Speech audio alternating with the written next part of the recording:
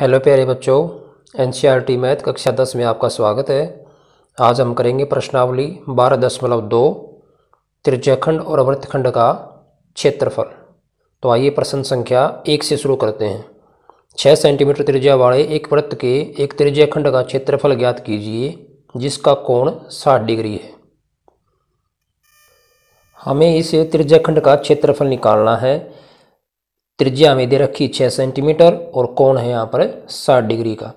ये जो त्रिज्या खंड है नीचे वाला, ये। इसको मैंने छांकित कर दिया है। इसका हमें क्षेत्रफल निकालना है। तो बच्चों, त्रिज्या दे रखी है हमें आर बराबर है छः सेंटीमीटर, थीटा बराबर है साठ डिग्री। और त्रिज्या खंड का क्षेत्रफल क्या होता है?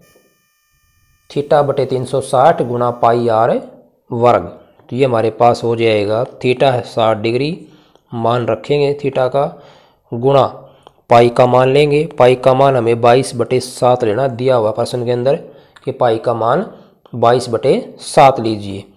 गुणा आर त्रिज्या हमारे पास छः उसका वर्ग छः गुणा छः इसको अमल कर देंगे, काट देंगे, इसको ये छः से कट जाएगा। छः से छः कट जाएगा, गुणा करेंगे एक सौ बत्तीस बटे सात वर्ग सेंटीमीटर। प्रश्न संख्या दो है। एक वर्त के चतुर्थांश का क्षेत्रफल ज्ञात कीजिए, जिसकी परिधि बाईस सेंटीमीटर है। यहाँ पर हमें परिधि दी हुई है और हमें वर्त के चतुर्थांश का क्षेत्रफल निकालना है। चतुर्थांश का मतलब है उसका चौथा भाग। परिधि से हम क्या निकालेंगे पहले त्रिज्या निकालेंगे। तो बच्चों, हमने यहाँ पर एक वर्त बना लिया इसके हमने चार भाग कर दिए हैं। तो चतुर्थांश होगा, ये वाला कोई भी एक भाग। तो मान लिया हमने ये भाग जिसको मैंने सांगित कर रखा है, इसका हमें क्षेत्रफल निकालना है। परिधि दे रखी है हमें। परिधि का सूत्र होता है दो पाई आर बराबर बाईस। यहाँ से हमारे पास आर का मान आ जाएगा बाईस बटे दो पाई। और ये हो जाएगा बाईस बटे दो पाई का मान बाईस बटे सात। यहाँ से हमारे पास आर का मान आ जाएगा सात बटे दो सेंटीमीटर। अब हम निकालेंगे क्षेत्रफल। तो यहाँ पर हमारे पास बच्चों दो तरीके हैं। एक तो आप पूरी वृत्त का क्षेत्रफल निकाल लो क्योंकि हमारे पास आर आ चुका है, और उसका एक बटा चार, उसका चार, एक बटा चार भाग कर दो तो हमारे पास एक चतुर्थांश का क्षेत्रफल आ जाएगा। या फिर त्रिजखंड के हिसाब से अगर आप निकालते हो तो हमारे पास यहाँ पर थीटा हो जाएगा तीन सौ साठ बटे चार, नब्बे डिग्री का। क्यों? क्योंकि इसके चार बराबर भाग हुए हैं तो एक कोण हो जाएगा, एक चतुर्थांश का जो कोण है वो हो जाएगा नब्बे डिग्री का। कुल तीन सौ साठ बटे चार, नब्बे डिग्री। अब यहाँ से हम निकालेंगे क्षेत्रफल। चतुर्थांश का क्षेत्रफल बराबर वही त्रिज्यखंड का क्षेत्रफल का जो सूत्र होता है, वही लगाएँगे। थीटा बटे तीन सौ साठ गुणा पाई आर स्क्वेयर। बाईस बटे सात गुणा आर त्रिज्या हमारे पास है सात बटे दो इसका वर्ग। प्रश्न संख्या तीन है, एक घड़ी की मिनट की सुई जिसकी लंबाई चौदह सेंटीमीटर है, इस सुई द्वारा पाँच मिनट में रचित क्षेत्रफल ज्ञात कीजिए। तो बच्चों, घड़ी की जो मिनट की सुई होती है, वो एक पूरा चक्कर लगाती है एक घंटे में साठ मिनट में।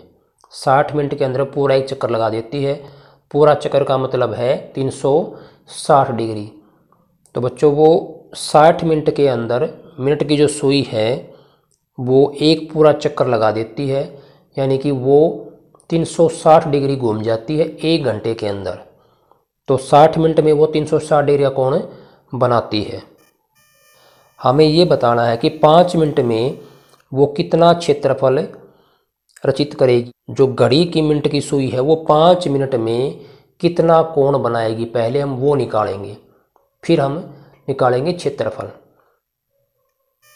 तो बच्चों, यहाँ पर हम एक एक नियम का प्रयोग करेंगे कि मिनट की सुई द्वारा 60 मिनट में बना कोण 360 डिग्री। वो 60 मिनट में एक पूरा चक्कर लगा देती है और उस पूरा चक्कर में वो 360 डिग्री का कोण बनाती है। एक मिनट में 360 बटे साठ और पाँच मिनट में तीस डिग्री। तो पाँच मिनट में जो मिनट की सुई है, वो तीस डिग्री का कोण बनाएगी। अब हमें ये बताना है कि तीस डिग्री के कोण के द्वारा जो त्रिज्याखंड बनेगा, उसका क्षेत्रफल क्या होगा? तो हमारे पास इस तरह की आकृति बन जाएगी। ये मिनट की सुई की लंबाई है चौदह सेंटीमीटर और उसने पाँच मिनट के अंदर तीस डिग्री का कोण बनाया है। तो हमें बताना है इस भाग का क्षेत्रफल कितना होगा। तो यहाँ पर एक तरह से हम कह सकते हैं, मिनट की सुई द्वारा पाँच मिनट में रचित क्षेत्रफल। एक तरह से ये होगा, हमारे पास त्रिज्या खंड का क्षेत्रफल। वो बराबर हो जाएगा थीटा तीस बटे तीन सौ साठ गुणा पाई बाईस बटे सात आर सुकेर आर हमारे पास है चौदह।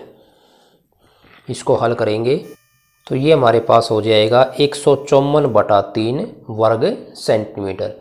तो यहाँ पर त्रिज्याखंड के क्षेत्रफल वाला सूत्र ही लगाएँगे हम, क्योंकि मिंट की सुई ने जो बनाया है, भाग, ये जो भाग रचित किया है, ये भाग एक तरह से क्या है? त्रिज्याखंड है। तो वही सूत्र यहाँ पर हमें लगाएँगे।